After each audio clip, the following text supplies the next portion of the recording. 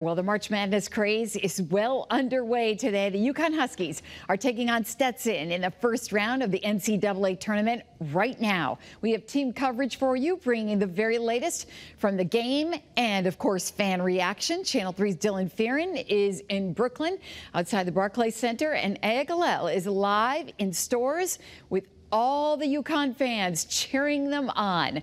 Let's start with Dylan. Dylan, it's pretty exciting out there so far.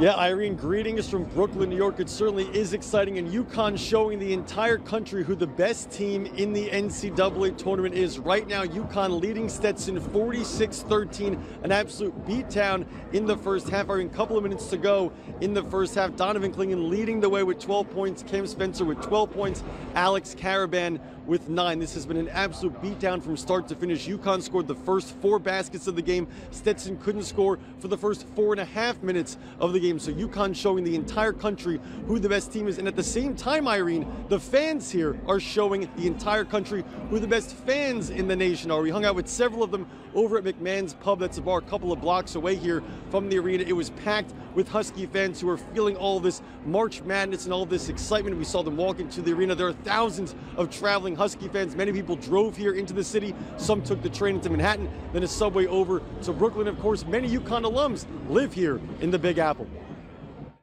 We got the coach, we got the bench, we got the starters, we got the fans, we got the geography. Yep. Nothing going against us right now. You never really know, but I'm giving them 100% of my effort, you know, towards winning. That's what I'm worried about. We uh, we got a lot of expectations, but they're the depth. I think that's the big thing about this team.